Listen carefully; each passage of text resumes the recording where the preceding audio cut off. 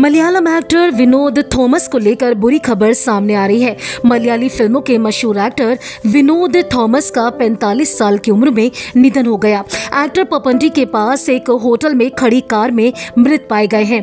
फ़िलहाल पुलिस इस पूरे मामले की जाँच कर रही है और इसके साथ ही एक्टर के मौत की वजह क्या है, ये भी जानने की कोशिश में जुटी है। पुलिस ने बताया है कि होटल के लोगों ने उन्हें ये जानकारी दी है कि होटल के पार्किंग में एक कार खड़ी है, जिसमें एक शख्स काफ़ी देर से बंद है। पुलिस ने वहाँ पहुंचकर एक्टर को कार से निकाला और उन्हें करीबी हॉस्पिटल में ले गए, लेकिन तब तक विनोद थॉमस की मौत हो चुकी थी।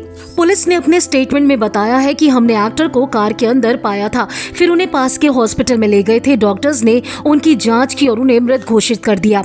पुलिस ने यह भी बताया कि एक्टर के शव को पोस्टमार्टम के लिए भेज दिया है। हालाँकि एक्टर की मौत की वजह सामने नहीं आई है। पुलिस मामले की जाँच कर रही है और इसके साथ ही ये पता लगाने की कोशिश कर रही है कि आखिर कार के अंदर उनकी मौत कैसे हुई। विनोद थॉमस की बात करें तो वो मलयाली फ़िल्मों के बड़े एक्टर थे। उन्होंने अयप्पम, कोशमो, नाथुली, ओरू, चेरिया मिनल्ला और बहुत सारी ऐसी बड़ी फ़िल्मों में काम किया। उन्हें उनकी दमदार एक्टिंग के लिए जाना जाता था।